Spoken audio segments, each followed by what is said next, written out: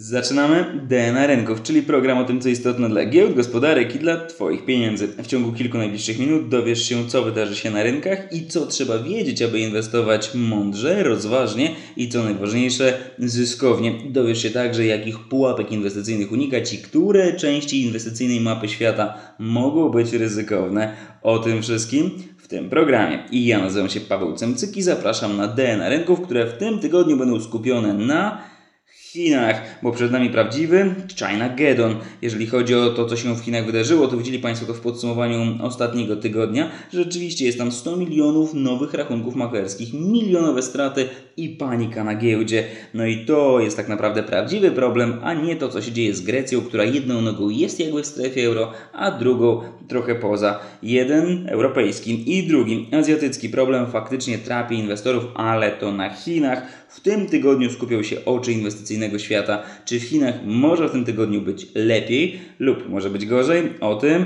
dowiedzą się Państwo już z przeglądu tego tygodnia, bo ten tydzień to rzeczywiście chiński tydzień i już zaczyna się chińskimi danymi. Już w poniedziałek wiemy, że chiński bilans handlowy za ostatni miesiąc to 46 miliardów dolarów. Innymi słowy, tyle pieniędzy w Chinach zostało po miesięcznym handlu. A to dlatego, że eksport w Chinach jest większy od importu. Ale te ostatnie informacje też nie pozostawiają zbyt wielu dobrych wrażeń, bo jeżeli chodzi o import, to widać, że on w ciągu ostatniego miesiąca spadł o 6%, a eksport nieznacznie wzrósł o zaledwie 3%. No nie jest to zbyt dobry miks, bo import od dawna spada, eksport prawie w ogóle nie rośnie, co doskonale mogą Państwo zobaczyć dokładnie na tym wykresie. Chiński bilans handlowy w poprzednim miesiącu wyniósł prawie 60 miliardów. Teraz już wiemy, że jest 46, a więc jest niżej. No i też to, co widać na chińskim eksporcie i chińskim imporcie, no to w ostatnim czasie te dwie informacje nie zachwycały inwestorów. Import solidnie w dół, eksport również spadał, no a teraz nieznacznie podrósł. Na pewno te dwie informacje o bilansie handlowym i o zmianie eksportu i importu nie będą miały zbyt pozytywnego wrażenia dla chińskiej gospodarki. Dlaczego? Ano dlatego, że zdecydowanie za słabe to dane, aby można było mówić o jakiejkolwiek zmianie trendu. Na razie w Chinach pieniędzy jest więcej, ale więcej jest też problemów. No i można powiedzieć, że to koniec poniedziałkowych ważnych danych, bo możemy już przejść do wtorku, a we wtorek sprzedaż w Stanach Zjednoczonych, czyli dokładnie ile Amerykanie kupują za swoje zarobione pieniądze. No i tutaj jest bardzo dobra informacja, ta sprzedaż, proszę Państwa, jest na plusie w skali roku 2,7%. Jeżeli będzie aż tyle, jeżeli będzie co najmniej tyle, to będzie to dobra informacja i będzie można powiedzieć, ok, chiński, a europejski konsument trzyma się nieźle. Jeżeli chodzi o najważniejszy dzień tego tygodnia, to z pewnością będzie to środa. A to dlatego, że sporo wtedy informacji, innymi co w środę, posiedzenie Banku Japonii, czyli dokładnie tego banku, który drukuje pieniądze tej Japonii, która znajduje się w portfelu DNA rynków. No i tej Japonii, która też jest bardzo, bardzo droga. Widzą Państwo to na tym wykresie. Na zielono to ile japoński bank centralny wydrukował pieniędzy w skali ostatniego roku. Tak, to bardzo dużo nowych jenów, ale razem z tymi nowymi jenami idzie też japoński rynek. To dokładnie wykres w kolorze fioletowym. No i widać, jak mocno od swojej średniej ten indeks się odchylił. Czyli innymi słowy, jeżeli chcemy teraz inwestować w Japonii, tak to dobry pomysł, ale trzeba liczyć się z tym, że inwestowanie w Japonii może oznaczać ryzyko korekty. Jak dużej korekty? No przynajmniej takiej, takiej 15 procentowej. Dla niektórych to dużo, dla niektórych to mało, ale na pewno perspektywy do wzrostu na razie są. Jeżeli uwzględnimy to, że taka korekta może się wydarzyć, to wtedy warto w tą Japonię inwestować łyżeczką, a nie chochlą. I dlatego też Japonia znajduje się w portfelu DNA rynków.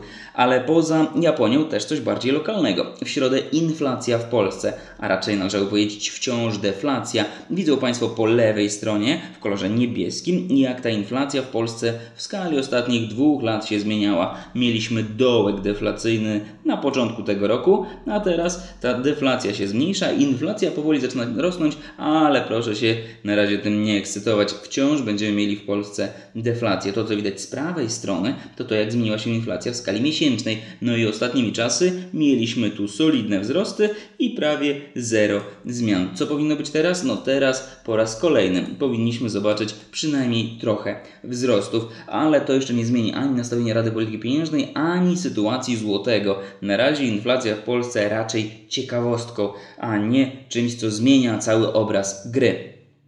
Również w środę dane z Chin. Kolejne dane z Chin, które będą pokazywały, jak chińska gospodarka zachowywała się w ostatnim czasie. Będziemy mieli PKB za drugi kwartał, który wyniesie zaledwie 7%.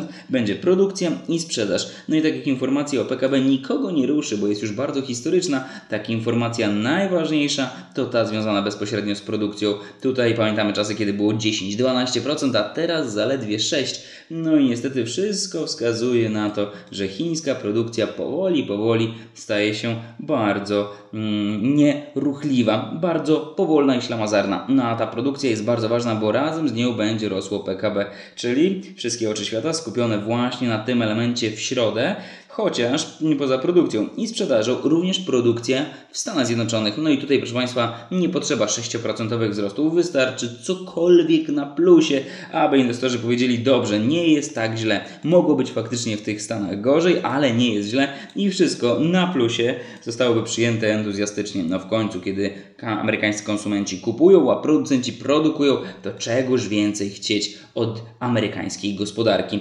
Możemy już w związku z tym śmiało przejść do czwartku i w czwartek również istotne wydarzenie dla całej Europy, bo będziemy mieli posiedzenie Banku Centralnego, Europejskiego Banku Centralnego, który ustali stopy procentowe w Europie. I te stopy absolutnie się nie zmienią. Stopy oczywiście będą pozostawione na obecnym minimalnym poziomie, ale Europejski Bank Centralny na pewno wypowie się w temacie greckich banków, a więc Grecja i jej grecki system finansowy pod dużym znakiem zapytania właśnie w czwartek. Ta konferencja moim zdaniem rozstrzygnie to, czy grecki system finansowy ma szansę przetrwać, a może przetrwać tylko i wyłącznie dzięki Europejskiemu Banku, Bankowi Centralnemu. Tylko on jest w stanie teraz wyłożyć taką gotówkę, aby uratować greckie banki i greckie finanse. Czy to zrobi? O tym dowiemy się już w czwartek, więc w czwartek koniecznie trzeba wiedzieć, co zrobiło EBC. A oprócz tego lokalnie będziemy mieli zatrudnienie w Polsce i wynagrodzenia w Polsce. I tutaj dla Państwa same dobre informacje. Zatrudnienie w Polsce na plusie 1% wzrostu wynagrodzenia w Polsce, również na plusie 4% wzrostu, co uwzględniając deflację będzie naprawdę solidną kolejną zwyżką. Innymi słowy, w naszych portfelach coraz więcej pieniędzy, a skoro więcej tych złotówek, no to też powinno być w końcu i więcej konsumpcji, i więcej produkcji. No i gdyby ten tylko optymizm Polaków do wydawania pieniędzy się poprawił, wtedy też automatycznie mielibyśmy pewnie też wzrosty na giełdzie. Na razie tego niestety nie ma, bo bardziej niż gospodarka na giełdzie liczy się w tej chwili polityka i to, co będzie z podatkiem bankowym, to, co będzie rzeczywiście się działo z całym otwartym systemem emerytalnym, no i to, jak będzie wyglądał w ogóle system emerytalny po ewentualnej zmianie władzy. Możemy śmiało zatem też przejść do piątku. W piątek również dane z Polski, przede wszystkim sprzedaż detaliczna i produkcja przemysłowa. I tutaj dwie dobre informacje, bo można powiedzieć, że sprzedaż detaliczna ma rosnąć już nie o niecałe 2%, ale ponad 3%, a produkcja przemysłowa powinna w końcu dostać przyspieszenia, czyli urosnąć o przynajmniej 6%. Co prawda, co do tej produkcji mam trochę wątpliwości, czy będzie aż tak dobrze, ale sprzedaż powinna się ruszyć, bo mamy więcej pieniędzy i faktycznie w okresie takim wakacyjnym, w zasadzie tuż przedwakacyjnym, bo czerwcowym, może, mogliśmy wydać więcej. Innymi słowy, no, jeżeli chodzi o polskie perspektywy na ten tydzień, są one gospodarczo dobre. Wszystko będzie rosło. Co będzie najważniejsze w tym tygodniu?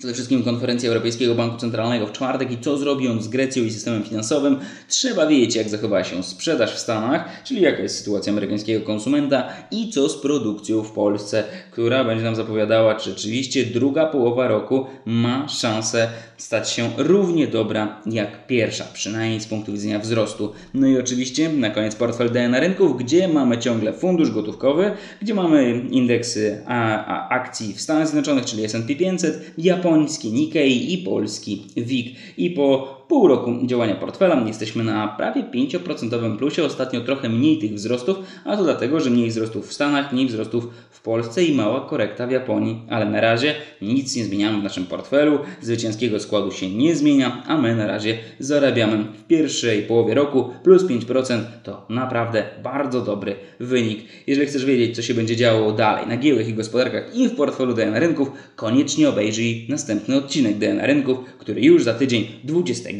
lipca, jak zawsze w poniedziałek z rana. Już teraz na to serdecznie Państwa zapraszam, a w międzyczasie samych udanych inwestycji. Do zobaczenia.